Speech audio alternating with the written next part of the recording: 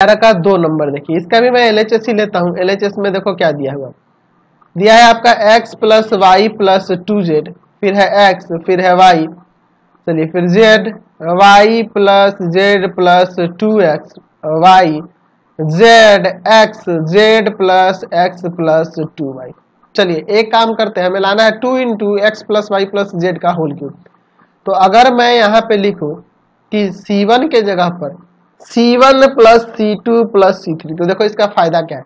C1 C2 C3 को जोड़ेंगे तो 2x 2y 2z होगा। और 2 को कॉमन कर लेंगे तो 2x plus y plus z two x plus y plus z हो जाएगा। 2 into x plus y plus z चलिए तो यहाँ पे 2 into x plus y plus z समझ गए ना क्या की है?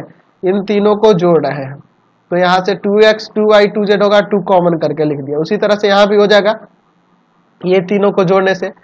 Two into x plus y plus z. फिर अगला भी वही आ जाएगा, two into x plus y plus z. ठीक है? और बाकी दोनों को ऐसे ही रख दो मतलब कि सी टू सी थ्री को। X, y plus z plus two x, फिर है x, y y z plus x plus two y. ठीक है? चलिए, अब इसको बाहर निकाल लेते हैं। लिखेंगे taking out taking out two into x plus y plus z from from C1 C1 से बाहर निकालते हैं। चलिए तो two into x plus y plus z चलिए कॉमन निकाल लेते हैं। तो यहाँ बचेगा वन वन वन फिर x y y plus z plus two x y x z plus x plus two y ठीक है? अब देखो इसके बाद। मैं लिखता हूँ, ज़्यादा ज़ीरो लाने के लिए मैं लिखता हूँ कि आर वन के जगह पर R one minus R two R one minus R two और आर टू के जगह पर R two minus R three ये करते हैं, ठीक है? चलिए अब देखिए क्या होता है। Two into x plus y plus z यहाँ देखो वन में से वन गया ज़ीरो अब देखो, इसमें से इसको घटाओगे तो आपका माइनस का एक्स माइनस का वाई माइनस का जेड आएगा। तो माइनस कॉमन करके लिख देता हूँ मैं। देख लो, इसमें से घटाओगे तो सबका साइन बदल जाएगा। तो माइनस का एक्स माइनस का वाई माइनस का जेड आएगा तो माइनस कॉमन करके लिख दिया, फिर ज़ीरो चलिए, अब यहाँ यहाँ घटाओ। ज़ीरो। इसमें से इसको घटाओगे तो x plus y plus z आ जाएगा। यहाँ इसमें से इसको माइनस का x plus y minus z तो माइनस कॉमन करके लिख देते हैं। माइनस का x plus y plus z समझ गया ना? इसमें से घटाओगे तो माइनस का एक्स माइनस का वाई माइनस का जेड आएगा।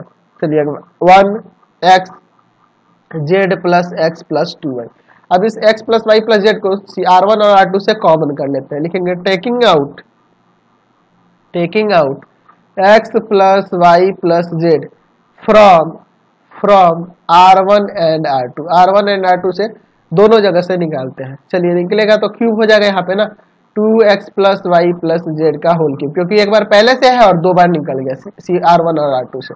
Zero minus one zero zero one minus one one x z plus x plus two one अब लिखते हैं expanding along expanding along expanding along expanding along C1 C1 के respect में इसका विस्तार कर देते हैं। एक्सपेंड कर देते हैं। Two into x plus y plus z का होल क्यूब C1 में सिर्फ़ वन को ही लेना होगा। यह कॉलम यह रो हट जाएगा। ये आपका बच जाएगा। Minus one zero one minus one cross multiply करेंगे वन ही ना आएगा। यानी कि two into x plus y plus z का होल क्यूब यही रह जाएगा आपका आंसर तो यही ना मैं प्रूव करना था। चलिए, अगला क्वेश्चन